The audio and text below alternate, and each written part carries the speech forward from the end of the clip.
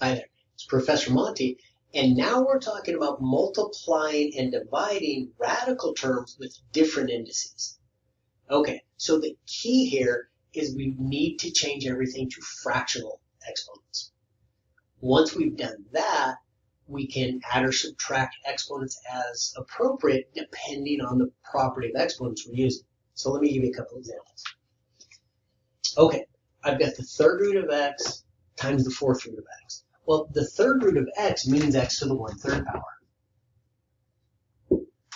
The fourth root of x means x to the one-fourth power. So what I'm doing is I'm multiplying x to the one-third times x to the one-fourth. I have the same base. I can multiply these two things together, keeping the base, adding the exponents. Well, if I want to add these exponents, I can only add them if I have a common denominator. So let's go ahead and get a common denominator now while we're here. 3 and 4 both go into 12, so let's build those both up to 12. So I'll multiply this one by 4 over 4 and this one by 3 over 3. Multiplying straight across, I get x to the 4 twelfths, which of course is the same as x to the 1 third. And then I'm going to add to it this exponent right here, 3 twelfths. And so when I add those together, I get x to the 7 twelfths. And a lot of authors, a lot of instructors will be happy there. Sometimes they say, hey, don't leave a fractional or rational exponent. We still want it. We started in terms of radicals. Let's end in terms of radicals. Well, remember that 12 means the 12th root. So we'll do the 12th root of x to the 7th. And that's our answer. Okay, so it's like that. Let's try another one. A little bit more difficult. This time I'm dividing so let's see. Again, I'm going to change these to rational exponents, fractional exponents.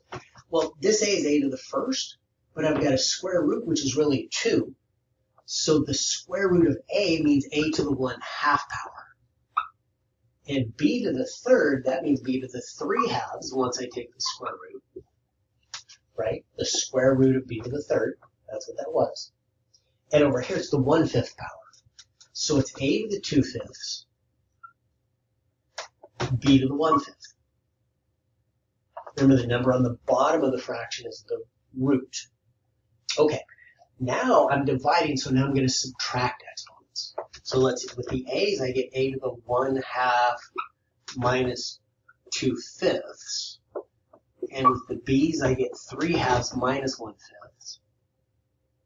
3 halves minus 1 and again, I need common denominators. So let's see, 2 and 5 both go into 10. So I'll multiply that by 5 over 5 and that by 2 over 2. I'm doing the same thing over here with the b's. 5 over 5, 2 over 2. Getting all the denominators to be 10. So let's see. I get a to the 5 tenths minus 4 tenths. And I get b to the 15 tenths minus 2 tenths. We'll continue that on down here. 5 minus 4 is 1. Keep the denominator, a to the 1 tenth. b to the 15 minus 2 is 13 tenths. So it's the 10th root of a to the first, b to the 13th. Usually we don't put the 1. I'm just going to erase that. And that's my final answer.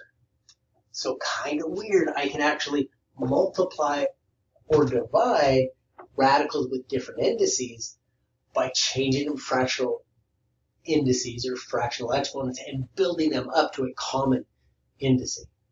Okay, so a little bit of work here, a little complicated, but a little practice, and of course you'll get better and better.